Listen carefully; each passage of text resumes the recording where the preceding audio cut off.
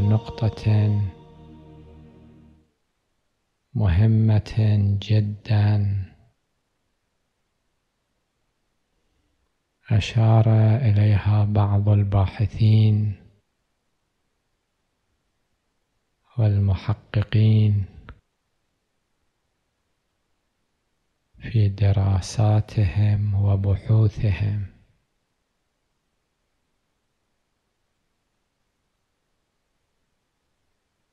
وهذه النقطة هي أن البعض ربما يتصور أن وجود دعاوى المهدوية أو السفارة يمثل نقطة ضعف في الفكرة المهدوية.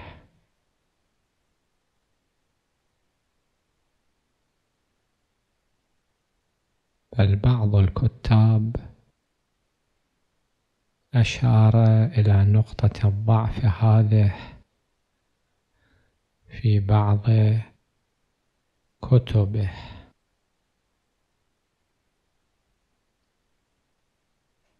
ولكن هذا التصور. لا يملك رصيدا من الواقعية. بل لنا أن نقول إن وجود دعاوى المهدوية والسفارة دليل على صحة هذه الفكرة. ونقطة قوة لصالح العقيدة المهدوية.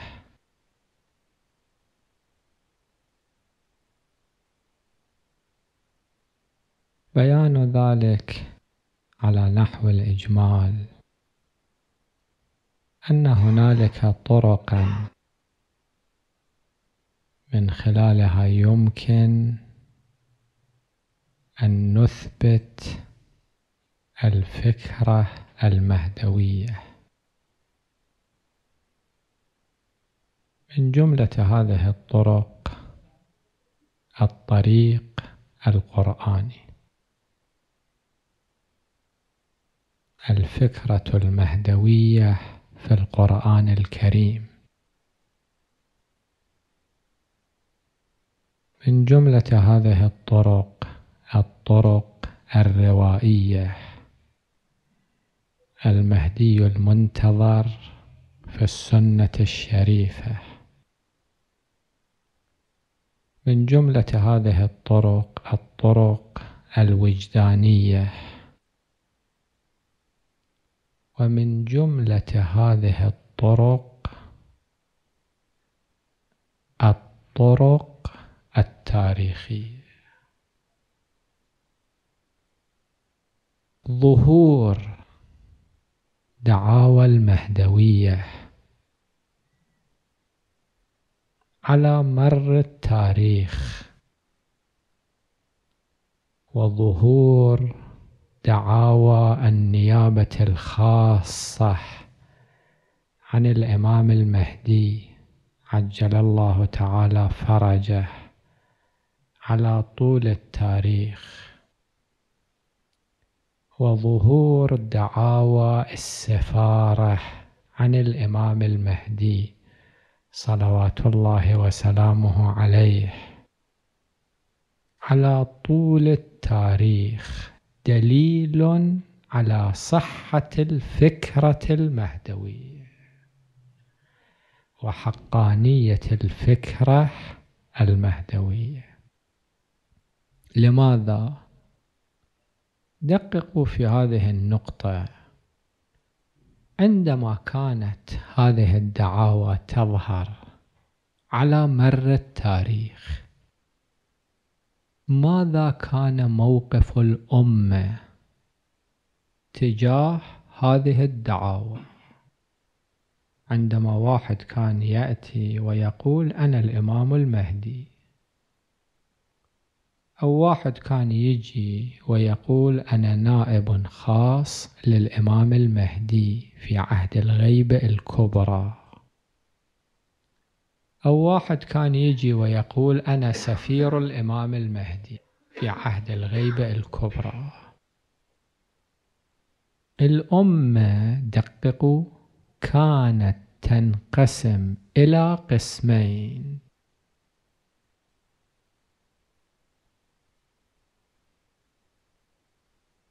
كانت هنالك شرائح من الأمة تقبل هذه الدعوة. لماذا يقبلون الدعوة؟ لأنهم يعتقدون اعتقاد ديني بالفكرة المهدوية.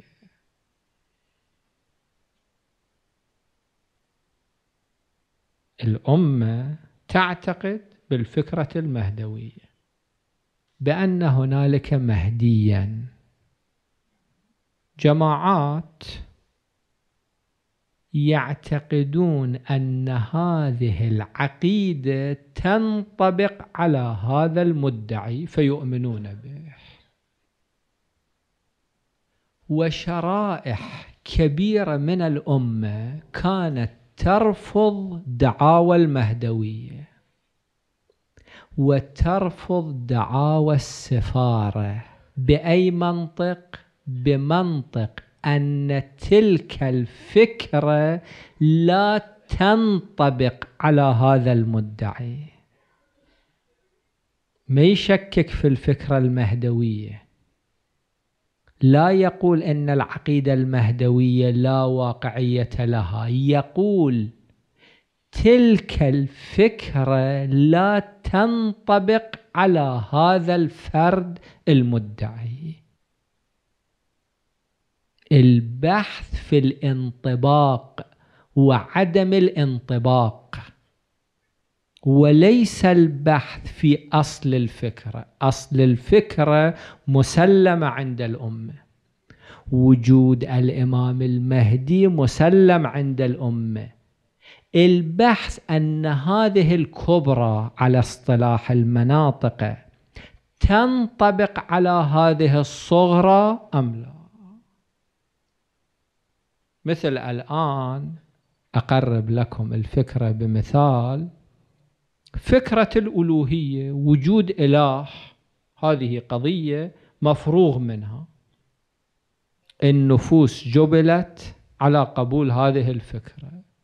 يأتي فرعون ويقول أنا الله. يعني من هذه الفكرة الفطرية الوجدانية المسلمة يحاول إساءة الاستفادة منها.